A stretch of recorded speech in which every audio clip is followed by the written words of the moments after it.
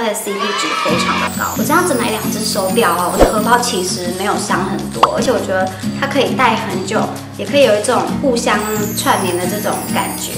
是一个我觉得蛮适合送给情侣之间的一个小礼物。嘿，大家好，我是小璇，那我来介绍一下我这一次送给我男朋友的情侣对表 RS 璀璨之星的这个手表，而且他们送来的时候是整个 set 给你哦。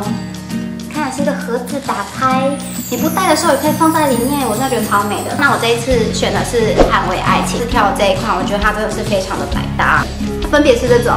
黑色的跟这个粉扑玫瑰金色，它里面的这个三个小圈圈是里面的指针是真的可以动的。那它分别有那个二十四小时制，还有时间跟日期，所以就不用担心它是假的，它是真的。我会选择这一款玫瑰粉肤金色啊，其实拿到的时候觉得它颜色真的很漂亮，它是这种。带着柔柔的粉色，然后又有一点微微的珠光的这种金色，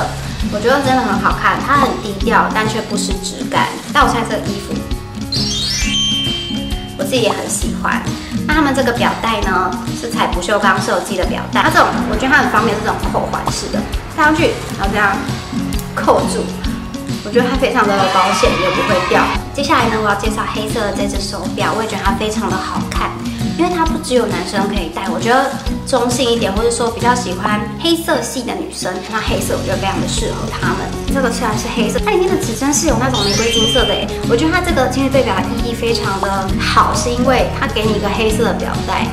黑色的框，里面却有玫瑰金的颜色，就好像男生把女生的另外一只表放在了心上的感觉，它的意义非常的好。虽然我是但我也可以戴黑色的，不只有送给情侣。它其实送给你的好姐妹，搞不好是那种比较爱运动、比较酷的女生，那我觉得她们一定会非常喜欢这一款手表，因为她们这种都是走简约质感、颜色比较简单的，男女其实都可以戴。重点是它的 CP 值非常的高，我这样子买两只手表啊，我的荷包其实没有伤很多，而且我觉得它可以戴很久，也可以有一种互相串联的这种感觉。